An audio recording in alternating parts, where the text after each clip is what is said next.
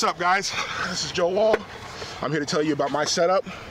Uh, I got a lot of people asking me uh, what I ride as a 440 pound man, so I thought I'd uh, help some of you guys out and uh, see if we can uh, help you guys get rolling.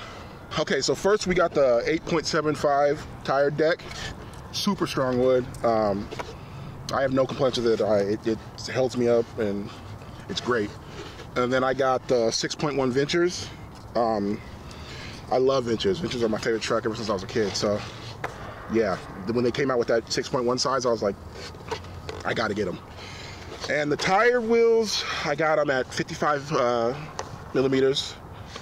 They're kind of soft, but they're not really. They're, they're a little harder. They're called tired soft, but they're not really that soft. They're, they're, they're really good. And uh, I'm riding on Cortina bearings. Cortina bearings. They're really good bearings as well. Uh, all in all, this setup is, I love it. Like it's keeps me on the board and Satan.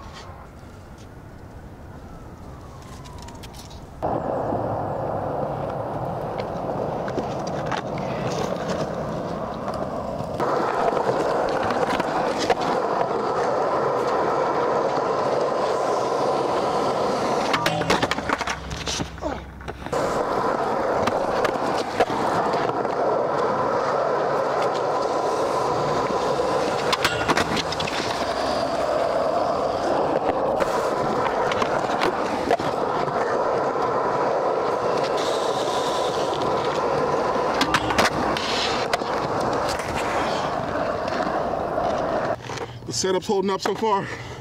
No cracks. I'm gonna keep going though.